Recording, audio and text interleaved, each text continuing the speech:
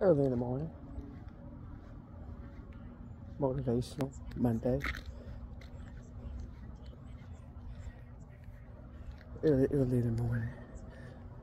I don't have to do this. I can just stay in the bed and sleep on in to my first client, but how can I teach other people to be disciplined and accountable when I don't practice? Take that very serious. So, how do I get it done? I be proactive with my schedule. I don't make excuses. I make resolutions. I be honest with myself when I mess up and strive to do better.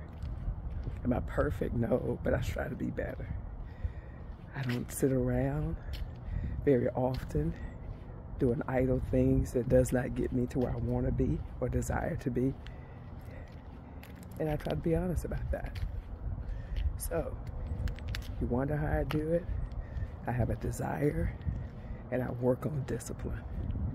Like exercise, you have to work on it.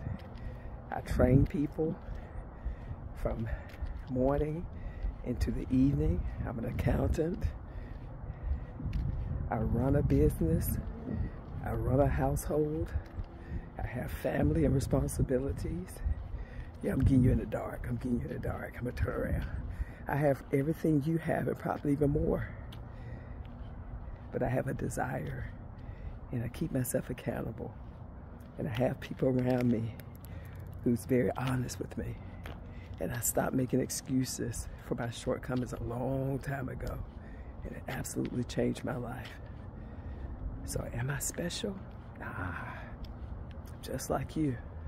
The only difference is I choose to do it and I work on discipline and I don't accept excuses.